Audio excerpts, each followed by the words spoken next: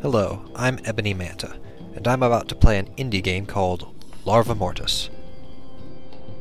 Uh, ignore that tally there, I'll explain later. Anyway, the player, who for role-playing purposes I have named Marcus, is a part of an organization dedicated to seeking out otherworldly threats and eliminating them with some good old-fashioned 19th century firepower. Of course, we'll be gathering various other gadgets and improbable armaments along the way, and some magical artifacts that'll help boost our stats and such.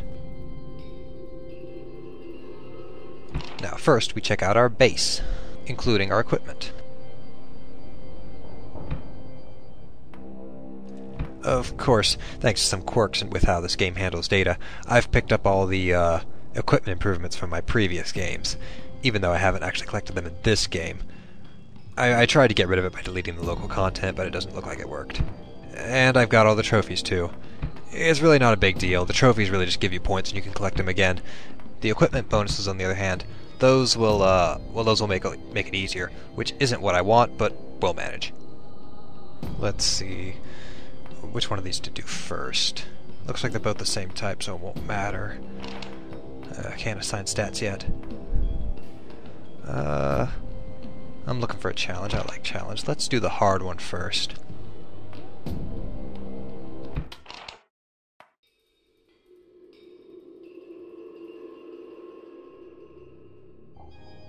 Now, some action. Let's see, excuse me while I smash some crates. Vain hope of getting some kind of items. Anyway, this is a Save the Lost Souls mission, where we must find these poor souls and save them from the monsters. Like this one right here. Ow. Gotta be careful, because they, uh, as I just mentioned, they can be killed, but they seem to have a bit of health and, ooh, a bonus. Double points, always good. Points are experience. Points are life. I'll let that explain. Ooh, health. I needed that. And there's our bonuses. And explanation of the various features and the bonuses. I never really got Berserk, though. It, it says it increases melee damage, but if it's talking about the stat, then that increases melee damage when you touch enemies or when they touch you, and I don't want that to happen. Especially when the difficulty is on hard, when I can barely afford to take any hits, and doing damage to enemies when they hit me is little more than a consolation prize at best. Anyway, I've just found a key, but I need the bronze key, so we're gonna have to go elsewhere. Ooh, boilers! Ow! ow. Fire! And there's the key. And watch out for those things Throw projectiles at me. Fun with boilers. Ow! Okay, that, that was kind of close there. There's Berserk, my least favorite power-up. I could use some health, but these barrels aren't giving me any. And off we go.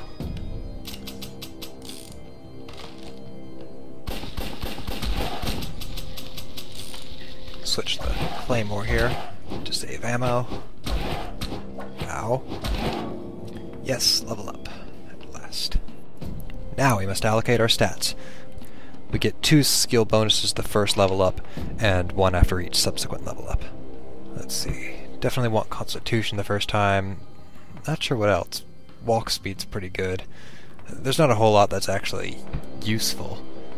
At least in my opinion. Constitution, Regeneration, and Walk Speed are the ones for me. And I'm holding off on Regeneration for role-playing purposes. Not much further to go. Just three more rooms, as you can see in the map in the lower right. And I, I like... I could just skip through this, but I like to clear out all the rooms. Ooh, double points. You know, using the pistol really isn't necessary. I can just go up and hack the... hack these guys like so. Yay, finally, health. Bats. Now, now the bats you want to take out with range, getting close to them without... Ah! Getting close to them without getting hurt is a little tricky.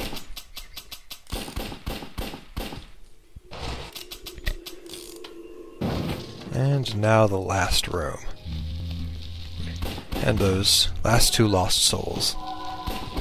Yeah. Uh, let's get take care of these enemies before bailing out, even though I could just do that. Could just go into the portal and end the mission.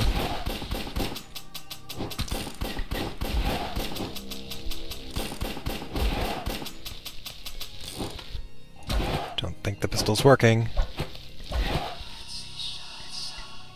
Okay, that whispering, that's... well, I'll explain that in a moment. Anyway, we have just completed our first mission. Now, what next? Uh, no more stat levels. We need to... still need to be level 2 to do the next mission, so I'm going to have to find another mission. Excuse me a moment.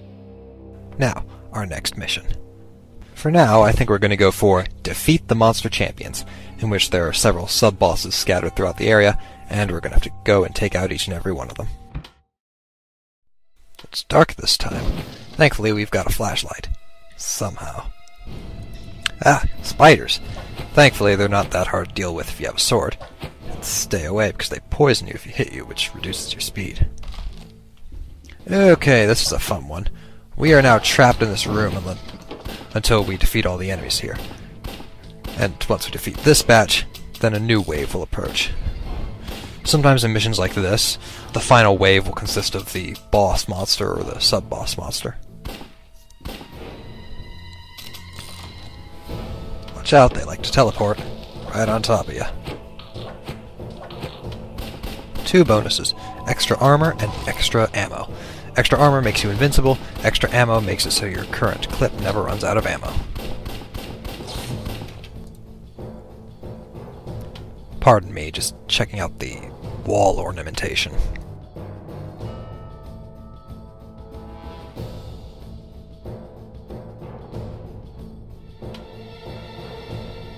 Ah, the monster champions, or some of them at least. Monster champions are stronger versions of enemies, and usually enemies that are slightly above our current level, like these flaming skeletons, which we otherwise wouldn't encounter quite yet. That particular batch wasn't too hard to deal with, the others should be the same. As you can see, sometimes they appear in groups, or other times they appear alone.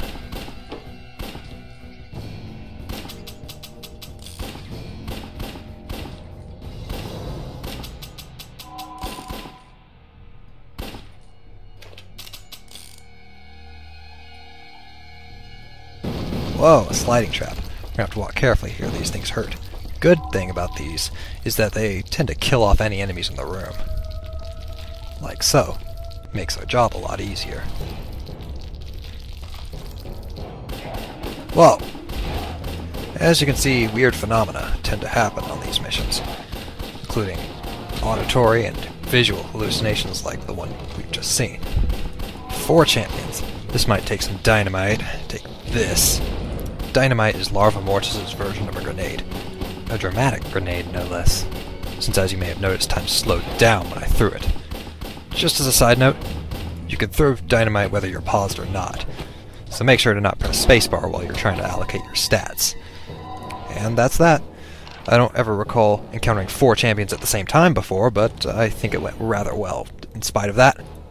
Speaking of stat allocation, let's see. Let's see if melee combat has any noticeable effect. Maybe if I'm lucky it'll increase my claymore damage. Now, back to the mission screen. We've got even more missions. For every mission you complete, another two or three spring up in its place, so you can never completely rid the world of monsters. Fortunately, over time this will provide us with quite a few different options for missions, provided you play the game long enough, because it resets every time you log off and then when you log back into the game you'll find yourself two or three new missions, and only those missions, plus the mission you have to do for the main storyline. Speaking of which, on the next video, our first story mission.